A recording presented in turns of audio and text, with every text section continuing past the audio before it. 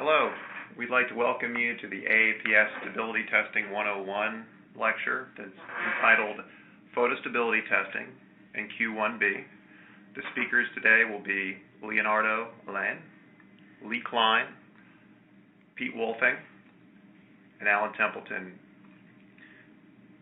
So we it's our, it is our pleasure to give you this primer for those being introduced to the topic on photostability. This topic is a quite diverse one that touches upon basic physics, chemistry, regulatory guidance of how light should be evaluated with respect to drug substance and drug products. And finally, we'll add a couple of sections around practical considerations.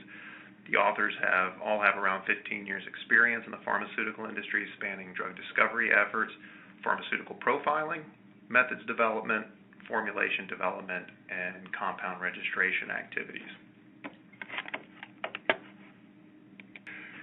We're going to break the talk up into six parts.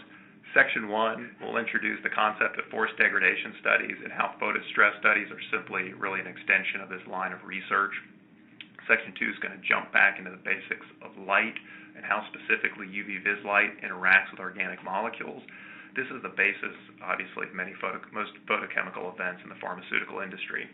We'll move on to section three, where we're going to review a regulatory document, the ICH Q1B guidance, which is entitled Photostability Testing of New Drug Substances and Products. This is important because this is a, a major document that informs how companies should consider light on their products, on their product quality. Then we'll move into section four. We'll discuss some uh, practical examples of photostability testing Section 5, we'll bring in some case studies around photostability testing. And finally, in Section 6, we're going to leave some literature references that we really suggest the listener uh, takes advantage of to continue their own education beyond this course. This, again, is just a 101 level course and is really an introductory primer.